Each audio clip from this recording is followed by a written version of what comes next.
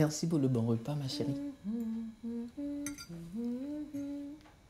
Puis je suis contente d'être avec toi.